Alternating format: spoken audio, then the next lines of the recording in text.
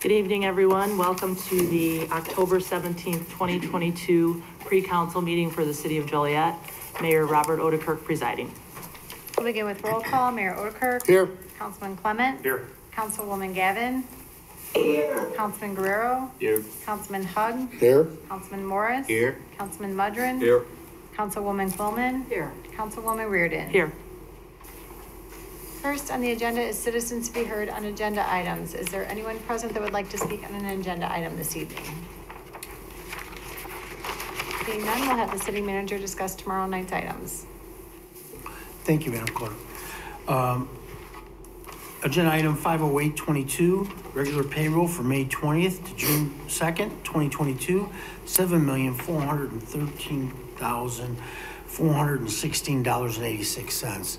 Uh, This is unusually high because it includes the back pay for uh, the union contract 440, so that's why this one is uh, significantly higher than what you'll see last one, so uh, the following ones. Uh, Agenda item 509-22, regular payroll for June 3rd through June 16th, 2022, $3,830,872.64. Agenda item 510-22, regular payroll for June 17th through June 20th, $4,039,933.79. Agenda item 511-22, regular payroll for June 1st through July 14th, 2022, $3,992,573.61. Agenda item 512-22, it's an award of contract to DTS for VUEWorks Asset Manager software support and hosting in the amount of $70,000, and this is for uh, public utilities. Uh, Agenda item 513-22, authorization to purchase and replace live scan equipment in the amount of $116,280. And this is for the uh, police department. Next are agenda items, licenses and permit applications. Uh, So I'm going to turn that over to uh, uh, our our uh, Bureau of uh, Alcohol. Good afternoon. Uh, First item, 515-22 is an application for a Class E liquor license at 221 Ruby Street, JD's Barbecue. Class E license authorizes the sale of alcoholic beverages for consumption on premises in conjunction with food sales at a restaurant. There has been a liquor license at this location with a previous restaurant. The liquor commissioner is recommending approval of this license. Item 516-22 is an application for a Class C liquor license at 1107 West Jefferson Street, Mabuhay Filipino Market. A Class C license authorizes the sale of packaged goods for consumption off of the premises. The location is a small Filipino grocery store which seeks to sell Filipino beer along with groceries. The liquor commissioner is recommending approval of this license. Item 517-22 is an application for a Class B liquor license at 1534 Route 59, Frankie's Tap on 59. A Class B license authorizes the services of alcoholic beverages for consumption on the premises. This is a new business seeking to open on Route 59. The applicant is, uh, currently has two other licenses. Uh, The liquor commissioner is recommend, recommending approval of this license. Uh, Item 518-22 is an application for a transfer of a Class C liquor license at 1521 Riverboat Center, the Hampton Inn, Joliet, I-80. A Class C license authorizes the sale of packaged goods for consumption off of the premises. There is currently a small convenience store which provides single-serving containers of beer and wine that uh, patrons who uh, may consume in their rooms. Uh, The applicant is a new owner who is seeking transfer of the existing, the existing license. The liquor commissioner is recommending approval of this transfer. Item 519-22 is an application for a transfer of a Class C liquor license at 3555 Mall Loop Drive, Hampton Inn, Joliet, I-55. A Class C license authorizes the sale of packaged goods for consumption off of the premises.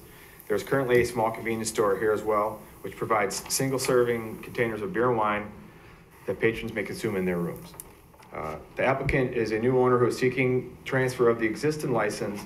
This is the same applicant in the previous item. The liquor commissioner is recommending approval of this transfer. Final item 520-22 is an application for a Class B liquor license at thirteen ninety-nine Plainfield Road, El Dorado Banquet Hall. A Class B license authorizes the service of alcoholic be- beverages for consumption on the premises. The applicant is seeking to operate a banquet hall in a portion of the existing building. The proposed location is less than 50 feet from the nearest residence. At the hearing of the proposed license, five residents appeared in opposition to the license. Three emails in opposition were also received, and a petition was presented in opposition which contained 31 signatures of area residents. 13 people spoke in support of the issuance of the license. It should be noted that none were area residents, and almost all of them were either relatives or current employees of, of the applicant. There are also are 22 licenses within one mile, a one-mile radius of the proposed location. The liquor commissioner is recommending denial of the application. Um, It should be noted, Mr. uh, Senior Robles is here, if there are any questions for him as well. Okay, thank you. All right, thank you. Thank you. Uh, Next is ordinance and resolutions. Uh, Agenda item 522-22, ordinance establishing a recapture fee for the connection to certain public improvements, uh, specifically Vetter Road. Uh, Agenda item five twenty-three twenty-two, ordinances associated with Rock Run Crossing, IDI re-subdivision number one. Um, Next, agenda item is five twenty-four twenty-two, ordinance approving a special use permit to allow an automotive service and repair facility located at two-two-seven Airport Drive. Next agenda item is five twenty-five twenty-two, ordinance approving a special use permit to allow truck parking and maintenance facility located at eight eleven Rowell Avenue. Uh, Agenda item five twenty, Jim? yes, sir. On, on the, uh, five twenty-five, I, I did hear some negative feedback about this from area residents. Um, I don't know if we want to address this tonight or tomorrow, there'll probably be some comments tomorrow, but could you maybe give an explanation on this? Sure, I, I believe that there's, uh, I believe the petitioner's here today, if you'd like to make some comments or, or talk about. it. Yes, no, eight eleven Rowell. 811 Rowell.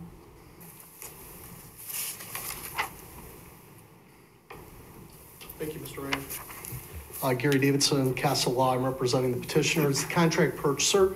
Uh, The property is currently owned by Gary Schlafler, who operated this as Joliet Disposal.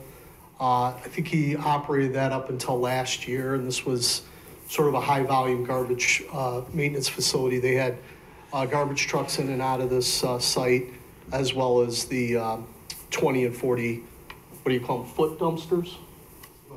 Roll-off dumpsters. So the trucks were coming and uh, taking those dumpsters in and out of there. What we're proposing is uh, not a rezoning of the site, uh, but probably uh, a use that's going to be far less intensive. This is going to be a small trucking company that uh, is just going to have trucks that come and park, and then they'll maintain those uh, vehicles. So these are over-the-road trucks.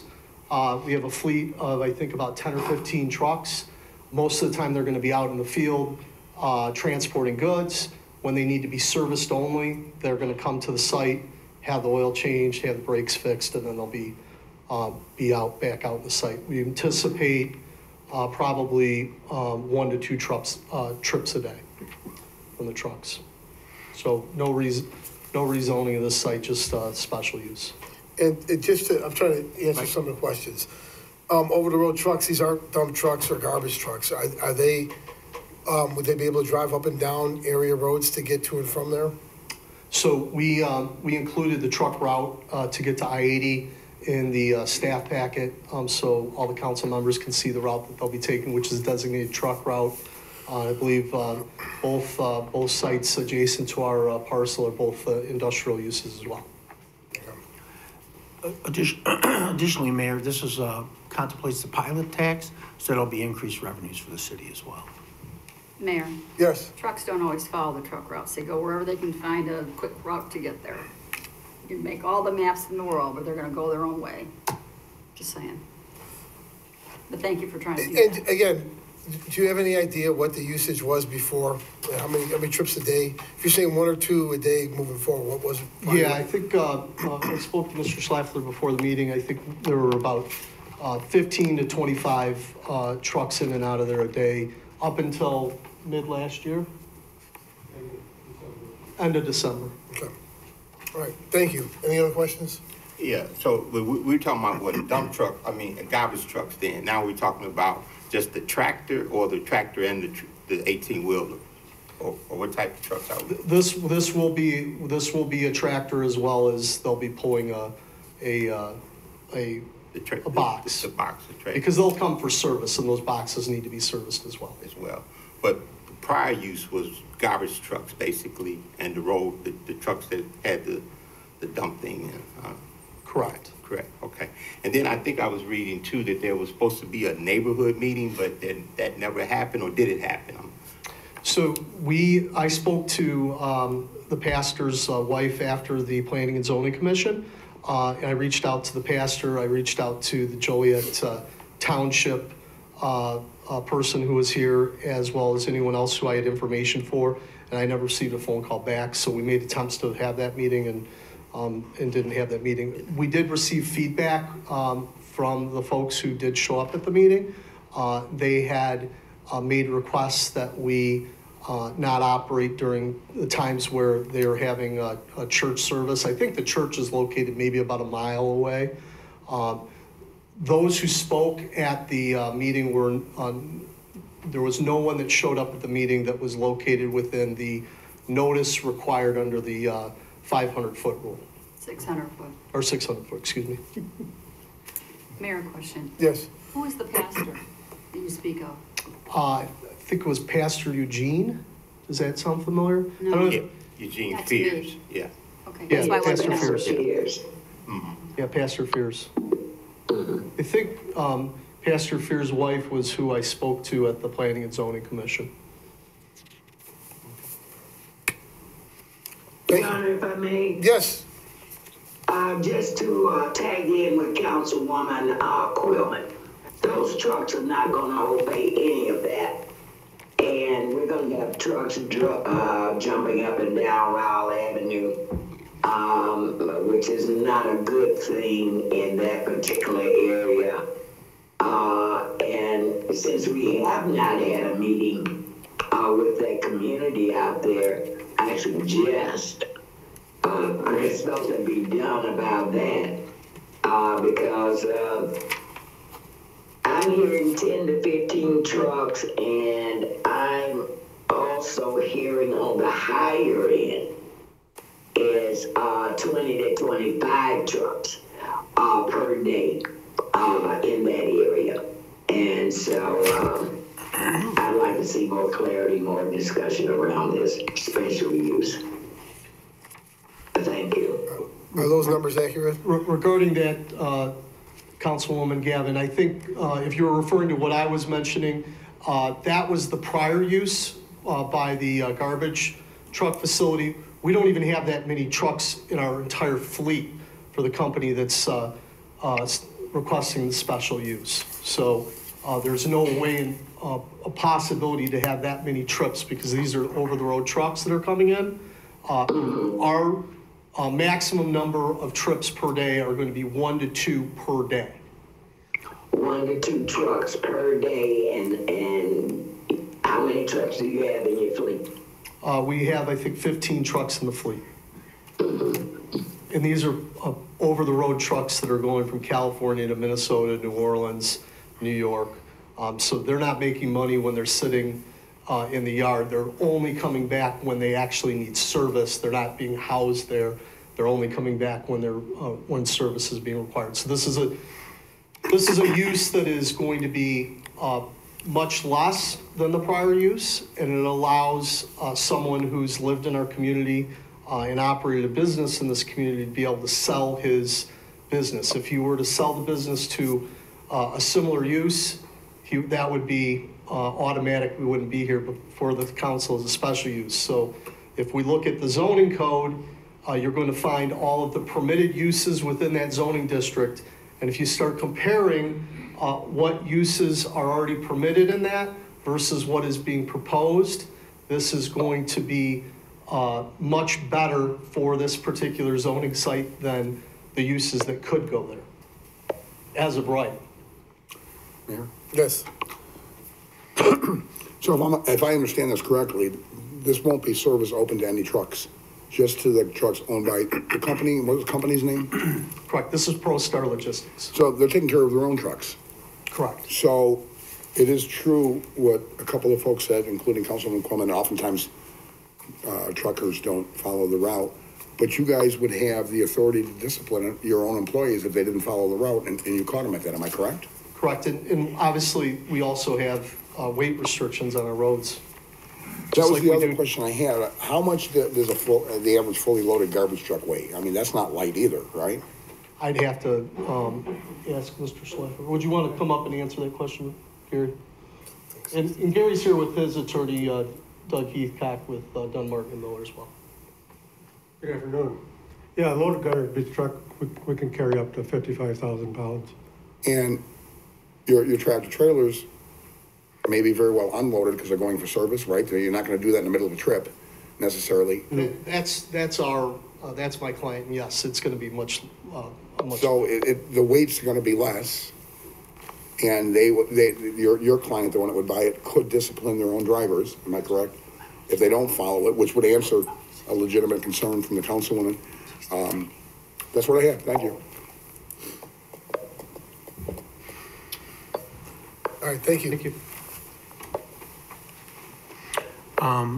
Next is agenda item 526-22, an ordinance approving the First Amendment to the preliminary agreement with respect to an anticipated water supply agreement between the city of Chicago and the city of Joliet.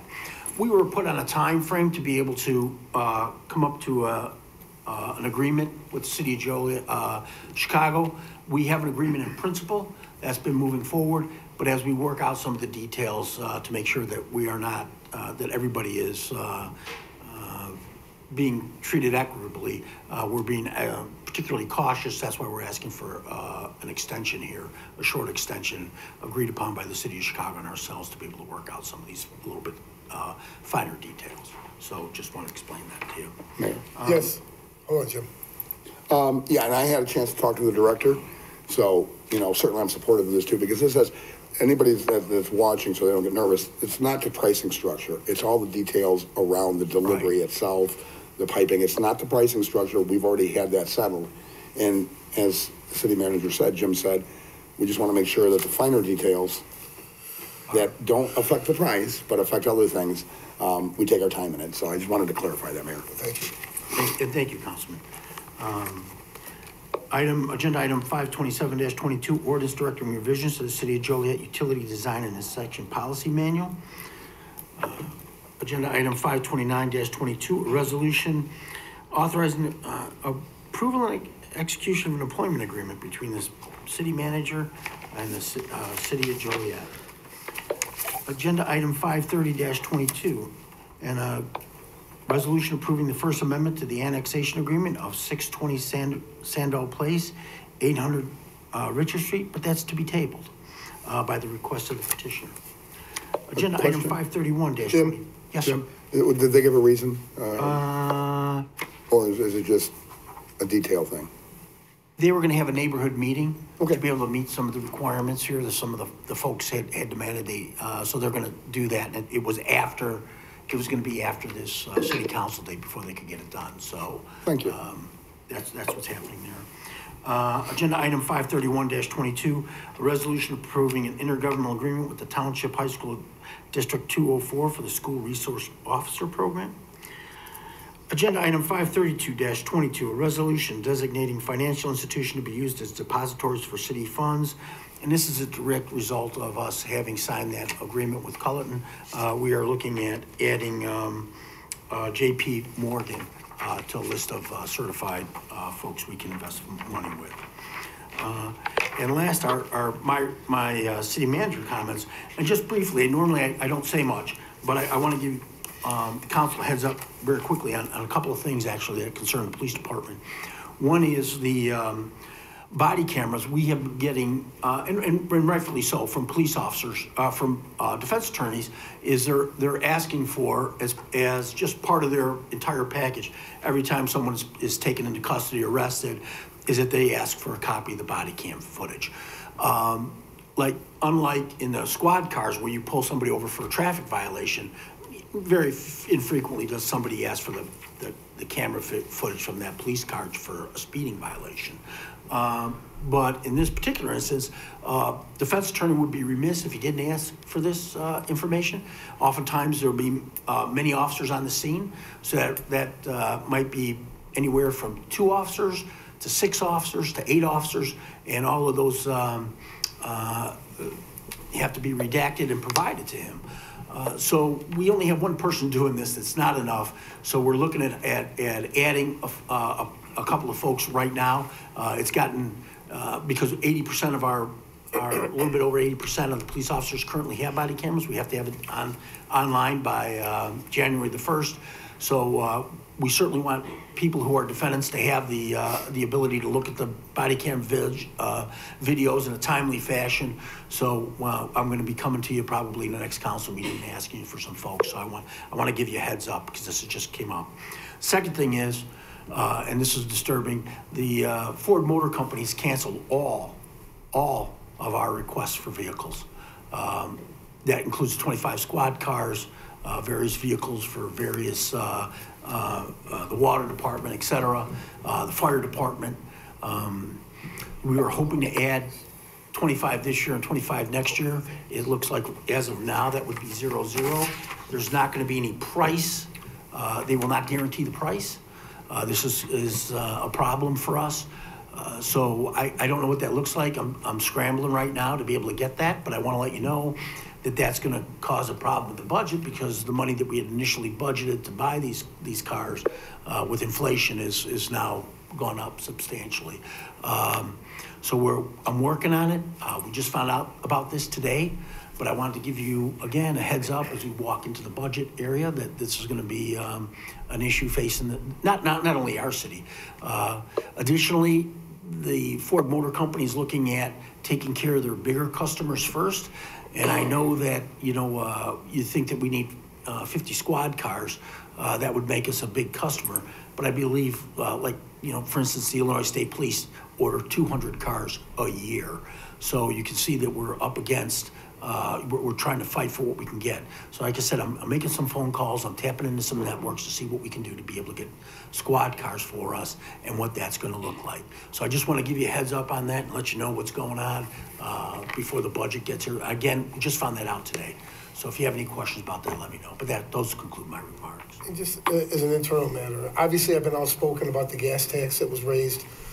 If we're not spending the money through, through no fault of, of your own, Right, that shouldn't just be directed into the general fund. well, we're, we're gonna have to spend that money. Actually, we're gonna have to spend more money to get these cars, actually. Well, when we get them, we're not spending it now. So what's gonna happen with the excess money that we Well, have? we'll, we'll, it's already been earmarked to buy these cars. That's, it's, we're gonna have to add to that amount. It's not like we're just getting to keep it and spend it on something else. But we're not spending it today. So Right. what's gonna happen to that money between now and when we can buy We'll earn car? interest until such time we can Okay. buy the car. Yeah, I, I wouldn't want it rolled in the general fund. Oh, no, we're not. No, no, no, it's, it's, it's already earmarked, uh, that, that's to be spent. So, right, it's not just there for us to use on something else. No, Good. that, that money's set aside for, for the squad cars. And I'm afraid I'm gonna have to come back to the council to ask for additional funds, uh, to add to that, which is, you know, disturbing. So, um, that's, that's, those are my comments. Next are public comments. Is there anyone that would like to speak under public comments this evening? Yes,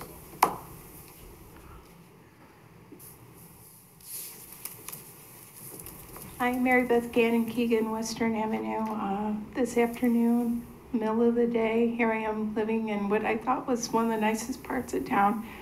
And my car was stolen out of my driveway. Um, I'm stunned. The amount of crime seems to be up in CAPA, the cathedral area, and I've approached some CAPA members in the past about maybe trying to do neighborhood watch. And I was told to keep, in the past, to keep my mouth shut because it will give the neighborhood a bad look. But, you know, when your car is gone, it, it feels, I feel very violated, you know? And for it to happen in the middle of the day in our neighborhood, I think it's disgraceful. There's been a lot of crime there and I don't know if the police can just do neighborhood watch, if we could invite somebody or a group of us can host it on our own because I feel like Capital's all about parties and having house walks when it should also be about neighborhood safety. And um, I, I don't know what I want. I, I'm in shock here. So I, I guess I would like to know if there's anything we can do to con- increase patrols in our neighborhood and, you know, not sweep the matter under the rug. Thank you. Thank you. Is there anyone else that would like to speak?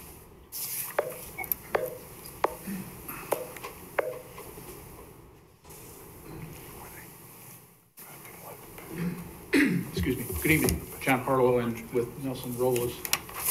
Wanted to uh, have a few comments about the um, earlier report on the liquor license application at 1399 Plainfield. Um, We have some visuals here, if you give me a second. Um, These are the same ones we used uh, when we made our presentation to the commission. I'll just put them up here. Um, if you want to take a look.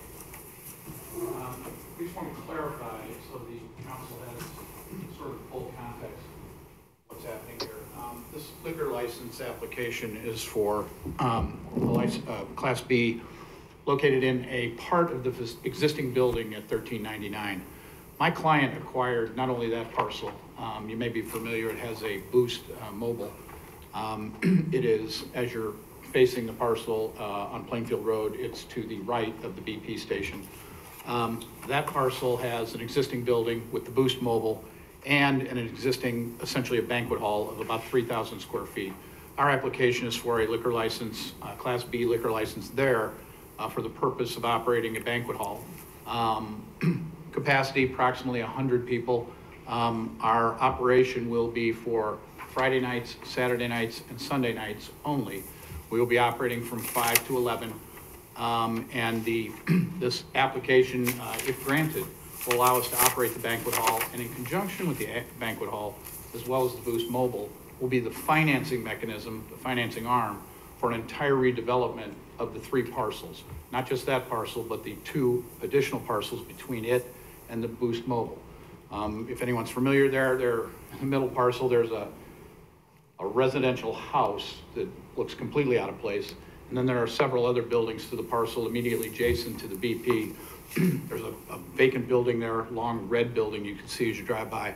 And then behind it, there's a um, auto body repair place, um, which faces the neighborhood.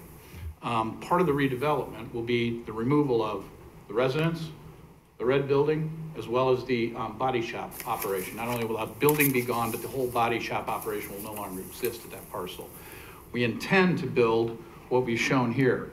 Um, What this, um, what the parcel will look like then will be four retail spots in a single building. Mayor, we can't see this over here. I'm sorry. All facing um, toward Plainfield. Keith, You put it. come forward with that. You want to put it, why don't we put it, why don't we put it? Okay, that'd be good. Okay, Just put it back. Put it by the podium, Then we can all yeah. And uh, if granted, this um, application will allow us to uh, operate the banquet hall, um, and in conjunction with the Boost Mobile, will provide essentially financing for the construction of an entirely new um, development on the property, which will remove several eyesores, remove a operation which we believe is causing considerable consternation to the neighbors immediately behind them, that's the body shop operation. That body shop operation has tow trucks dropping off cars to be worked on sometimes as late as two in the morning. Um, That will be completely eliminated from the parcel. These buildings, if built, will all be facing on the Plainfield. The operation will all be facing forward and away from the residential area. It will also um, increase the parking. The operation of the retail um, stores, we anticipate will be during the daytime hours. And so the banquet hall will be operating, as I said earlier, from Friday, Saturday, and Sunday, nosy, in the evening. Um, The banquet hall will be for private parties only. It will be by invitation only. We have uh, two air- um, en- entrances to the uh, hall, one on the side, one on the front. During these uh, parties, they will be manned by security guards at both locations, which will restrict the entry to only to invited guests.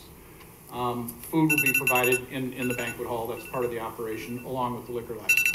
So With this, um, if the liquor license is granted and allows us to open this banquet hall and continue to operate, it will finance what will be somewhere in the neighborhood of a full $2 million worth of redevelopment for the construction of the building, the re, uh, re, uh, paving and reconfiguration of the entire site, all three parcels, and will provide a significant upgrade from our view uh, to what's existing there now, um, and be a significant economic investment in, in the city of Joliet.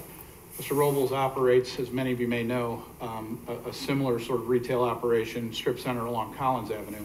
He's also just recently been granted by the commission a liquor license with a partner for a banquet hall operation over on Jefferson. So we, we wanted to provide a little bit of context on this um, to, to let the council know that really this operation is, is going to be unlike uh, many of the other liquor operations. There is no retail, there is no, it's, it's, it's not open to the public.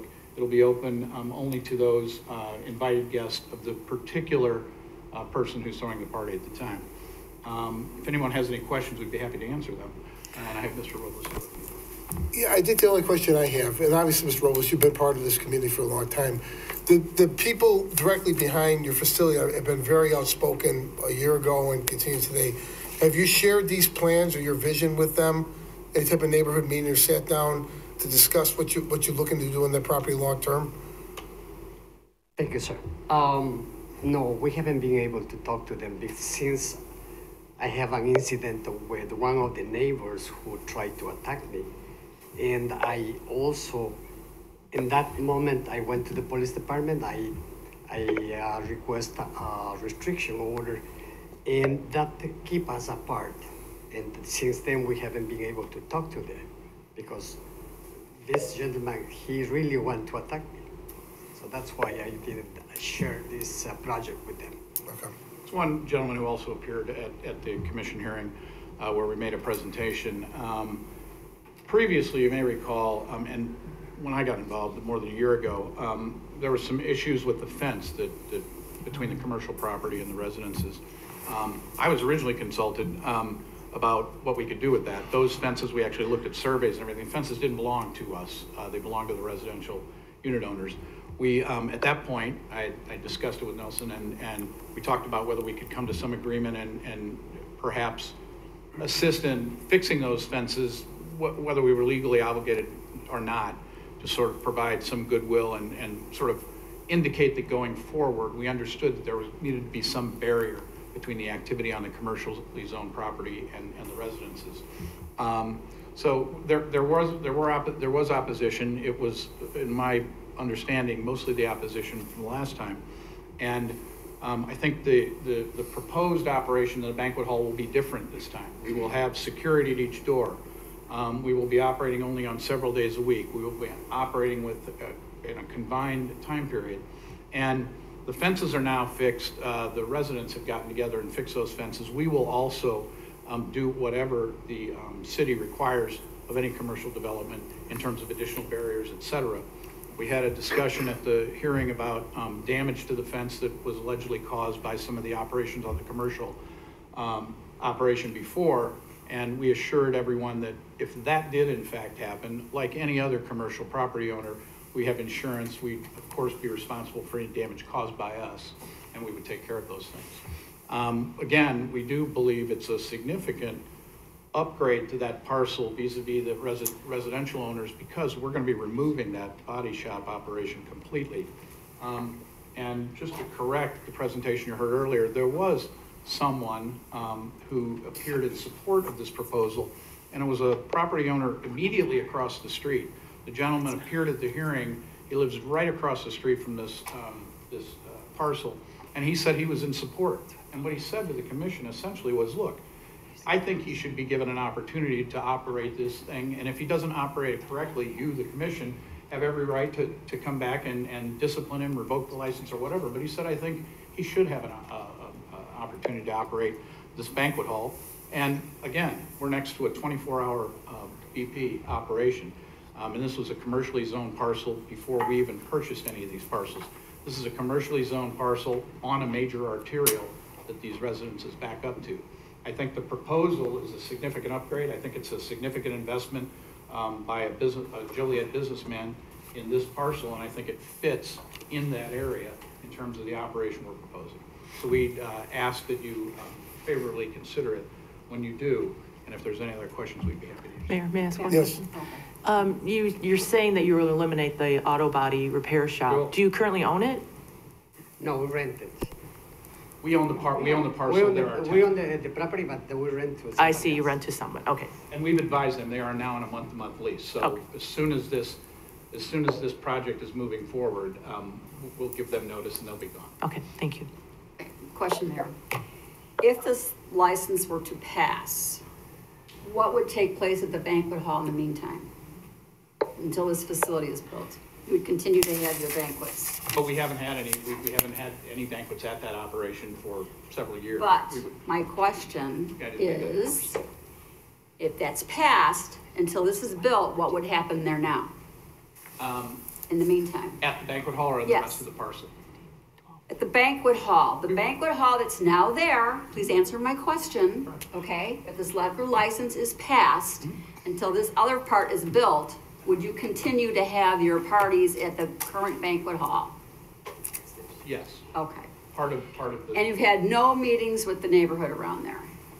not recent. Well, I suggest, this is my suggestion, I can't speak for the council, but I would like to see the neighborhood meeting and you have this proposal and you talk to all the neighbors that live around there, because I get a lot of phone calls complaining about that banquet hall all the time. They never complain about the auto body shop, they complain about the banquet hall. So that would be my hope, I would, I would ask that you have a neighborhood meeting and maybe we could table this tomorrow. Thank you. Anyone else? I got one question. Yes. I was trying to see, what would the parking be now, and with the new, after you do the new development? Would it be in the front or, Uh, it's going to be in the front and also in the back, in the back side, because We lay out the proposed parking map here.